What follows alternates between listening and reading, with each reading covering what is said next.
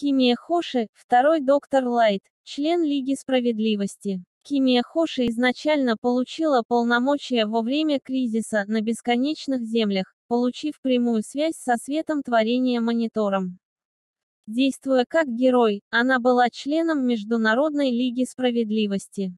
В какой-то момент она вышла замуж за вышедшего на пенсию и, казалось бы, раскаявшегося суперзлодея Артура Лайта, настоящего доктора Лайта и своего тезку. Она считала, что ее муж погиб из-за Супермена и организации Аргус, из-за чего у нее был конфликт с этой организацией.